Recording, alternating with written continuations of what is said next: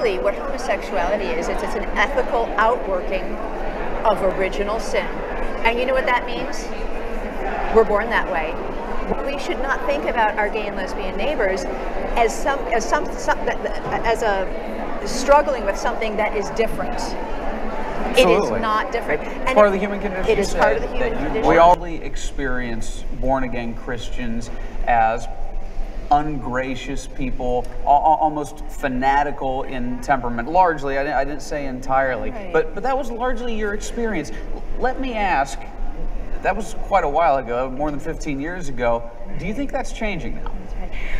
Well, that's a hard question